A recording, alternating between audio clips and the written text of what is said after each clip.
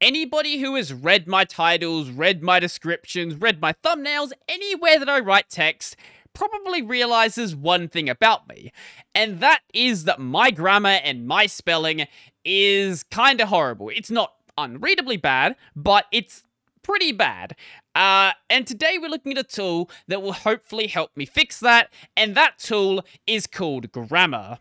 Not by helping me improve my gramma or learn how to spell properly, nope, just um, letting me avoid the problem entirely. Have you ever used uh, Grammarly? This is basically a terminal application that connects to a open source software that does the same thing as Grammarly. So there are two main ways we can use grammar. The first way is the check command, the second way is the listen command. So I went and grabbed one of the assignments that I wrote last year, year before, when, when did I go to, I don't know, whenever I was at uni, and we're going to be using the check command. So the check command is for checking a file. So that is just called assignment uh, .md, and there's a reason why I'm using a markdown file, and that's because this actually does properly support markdown and won't consider the markdown elements you know, mistakes in the document. Now, sometimes it might take a while to actually connect to the API, and right now it's taking way longer than I've ever seen. Yeah, I guess that was just my internet dying. I, it's working fine now. I don't know what happened there. Anyway, 218 mistakes. For the record, I got I think like a 95 on this assignment, so yeah. Anyway, as we can see, it's going to show the context around the sentence because in some cases, it may not actually be a mistake. It may be something you intend to do. In this case, it seems like, no, this actually was a mistake, and it's probably going to be like that for a lot of them. This one, actually. So, I was actually embedding some LaTeX in this document, and this is being shown as a mistake. In this case, no, that's perfectly fine. I'm going to leave it as it is. And as we have each of the things we can go through, it's going to give you a couple of options for things you may want to do. So generally what you're going to see is fix, custom fix, ignore, and next. On some of them, though, like this one here where there is a word, you can actually go and add it to your dictionary. But when there is a word, it's going to give you a couple of options for what it may actually be. So the mistake, at least the mistake it's saying, is a priori. And the suggested fixes are prior, priori, priors, a priorist, and aporism, But in this case, I know this word actually is correct. I'm going to add it to my global dictionary and move to the next one. And then you'll go through that process until you get to the end. Now, because I don't want to be here literally forever, I'm just going to show you the second command because the final screen is exactly the same. Let's go do gramma listen, and this is going to listen for a string. So in this case, let's go and pass in hello, and let's spell world wrong. In this case, there should be two mistakes. So the first one is hello doesn't have a capital, so let's go and fix that. And then world, it's actually not giving us the correct suggestion. In this case, it only has would. So not every situation it's going to be able to fix it for you. In some cases, you may have to do a custom fix, but it does do a fairly good job at working out there is some sort of problem here. I'm going to change this to world, and then we have the option to save as, which will let you save it to a file or print it to the screen. I'm just going to print it to the screen, and that's the final result. Now, the interactive prompt is great and all, but sometimes you may not want to go through it and you may want to just fix it by yourself. In which case, what you can do is pass in the dash P option, and then it's just going to dump out all of the mistakes directly to your window. And of course, it's going to be slow for that one. As you can see, now we have a lot of things to go through, and it's all 200 and whatever it was that was available. And apparently, if you run that and there's a new update available, it will tell you. Now, when it comes to supported formats, obviously all forms of plain text will technically work. But if you're using something like LaTeX or Troff or Groff or any of the other formatters out there besides Markdown and unformatted plain text, you're going to have a lot of false positives. Not to say you can't use it, you just have to keep that in mind. Before we look at the rest of features, I just need to mention there is actually a file size limit. So I had to go and delete most of the file to actually get it working in that, but if we go and run it again without those changes in there, it's going to try to connect, And then once it connects, it's going to say, hey, there is more than 75,000 bytes. So there is a limit, but for most documents, it's going to be fine. And there is actually a way to get around that a bit later, but I'll mention that towards the end. Now, where is one place that you write a lot of text that you don't want there to be mistakes in? If you guessed inside of a Git repo, you were absolutely correct.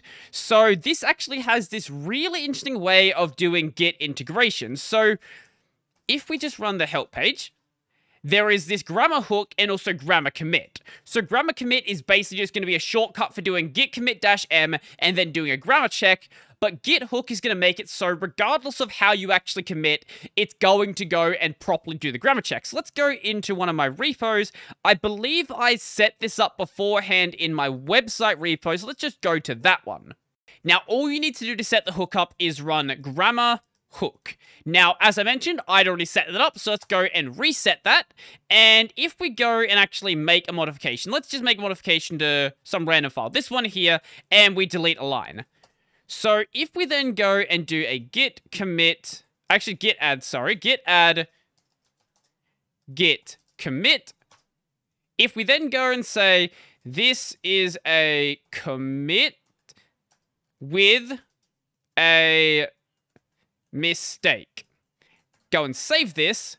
What it's going to do is then connect to the API and try to fix what you actually wrote. Now, I thought for a second that the correction wasn't actually going to be in there, but the fix for that one is going to be number three.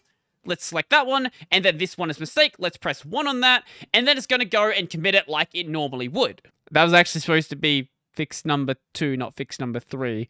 Um, that's my bad. I just can't read. Now, if you use gramma commit instead, you don't actually need the hook enabled. The hook is there just for the regular git commands.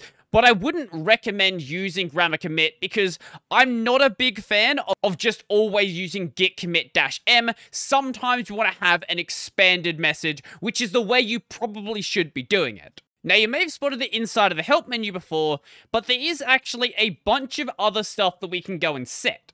Now, all of the options in here for the most part, are going to be configuration options.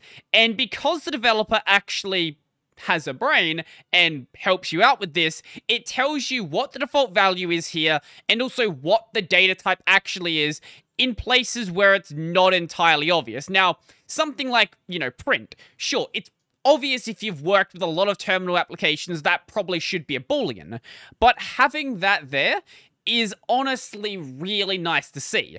Now, I don't know why it's there for help, because just running the option is going to show it, but besides that, for things like, say, the language and things like that, it is really useful. So there's going to be two ways we can set the options. One of those is by doing it through the application. The other way is just modifying config files. So if we want to do it through the application, that is going to be done by using gramma config, then the name of the key. So the key name is going to be the full option name minus the dashes. So let's go and set the language, and then let's set the value to be uh, auto. So it automatically detects what language it's actually working with. I don't know how well that actually works. Now it's going to say, hey, uh, local config not found. Should I use the global config instead? Uh, I haven't actually made a local one. I'm going to say yes. And now it's going to go and modify that global config. But let's go and look at the local config.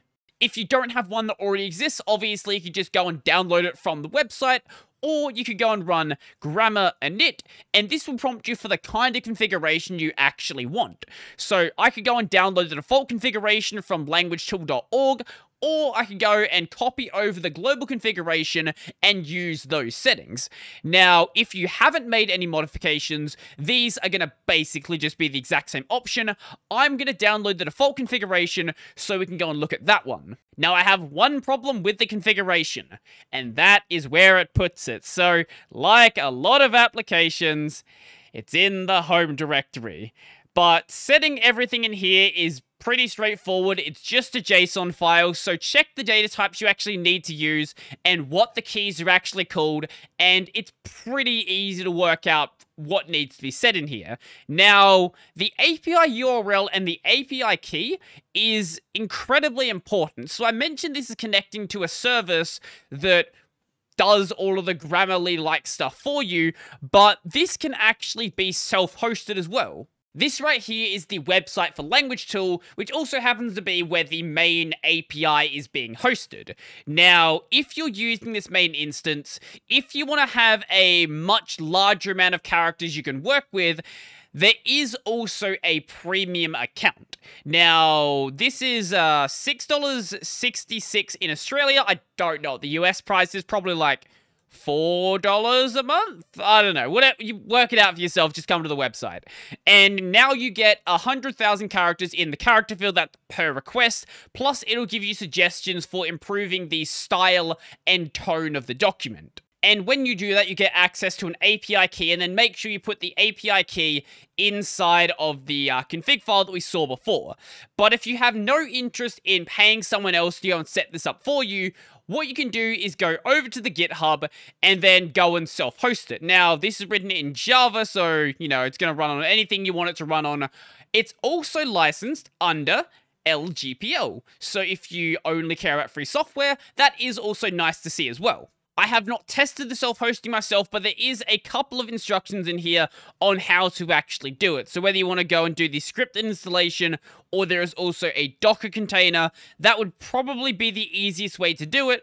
But if you want to make any modifications to it yourself, then going and probably, you know, doing it through this method and just pointing it to a different location is probably the best bet you can go with. As you probably spotted earlier, there is also a bunch of other languages supported.